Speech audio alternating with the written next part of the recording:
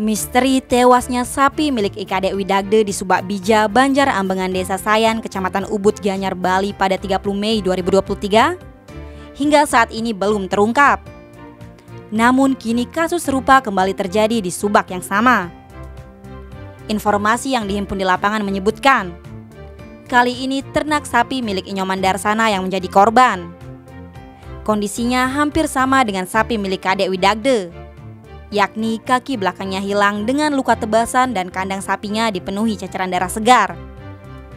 Peristiwa ini membuat Darsana shock lantaran sapi itu sudah dipeliharanya sejak dua tahun. Dia berharap pelaku ditangkap sehingga tidak meresahkan warga lagi. Kanit Reskrim Polsek Ubud, Ibtu Inyoman Agus Putra Ardiana, seizin Kapolsek Ubud, Kompol Made Uder mengatakan, ada dua laporan yang diterima, saat ini pihaknya masih melakukan penyelidikan.